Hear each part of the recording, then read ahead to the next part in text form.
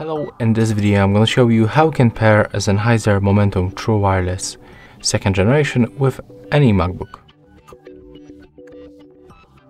So first of all, you have to remember to charge your earbuds inside this charging case and then simply remove them, left and the right. Next, you have to click and hold on these both buttons and simply take a look for the indicators uh, the right one will start blinking blue, so it means that we are in the pairing mode. So we have to put them close to the MacBook and then simply go to the system settings, go for the Bluetooth, turn it on by tapping on the switcher and then select Sennheiser Momentum True Wireless second generation from the list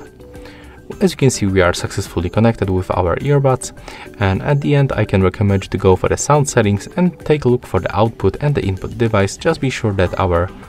Sennheiser earbuds are selected. So that's all for this video, hope you like it.